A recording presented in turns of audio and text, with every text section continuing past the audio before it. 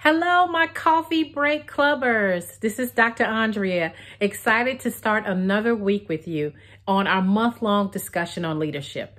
Remember, we're discussing and working on ourselves in different aspects of leadership throughout the month of March. I'm excited for our next topic, which is law of process. So I hope you're ready. If you don't have your download uh, study guide just yet, be sure to do that when we finish up our video so that you can continue to kind of to capture the nuggets that we talk about today. Well, like I said, today we're going to talk about the law of process. And this is actually in the 21 Irrefutable Laws of Leadership by John C. Maxwell. This is where he talks about leadership develops daily, not in a day.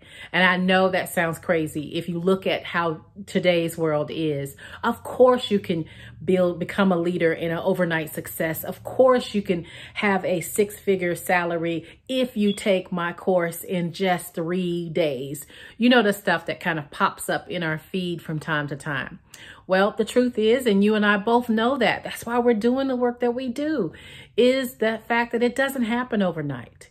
It actually does take time. And I wish somebody would have reminded me of this particular law when I left my corporate job. I thought somehow I was going to walk out of one season and walk into the next one and everything that I had learned from the last season of course it was going to be relevant for the uh, for this season and everything that I needed I actually already had. Well, the truth is, it didn't happen that way. I thought somehow I could avoid the pain of going through the process, and you don't. The, in order for you to have sustained success in any part of your life, you have to go through a process to get there.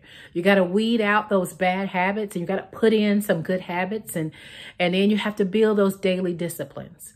And one of the daily disciplines I had to kind of work on was how I manage my time.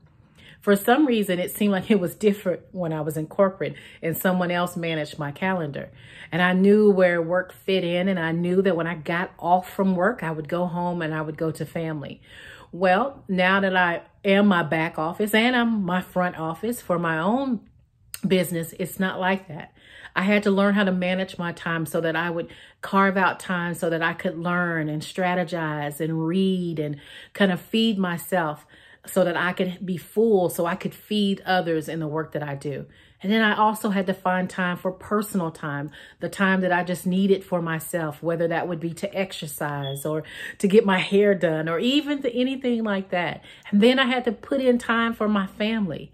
And so what I found is that when I was just doing, doing, doing, I didn't have time for some of this other stuff. So I had to build in new disciplines and I had to reinvent the process. So it has been a journey and it's been a process of learning and failing and learning again and putting new things in and trying new things. But it's work that I continue to do and it helps me grow as a leader. Now it's your turn. I want you to take a look at some of those processes, excuse me, some of those disciplines that you have where you could change your process in order for you to continue to grow as a leader. Well, that's it. It's time to get to work. Get your coffee ready, download your study guide, and go ahead and start answering the questions about the law of process. And I'll see you next week. Have a great week. Bye-bye.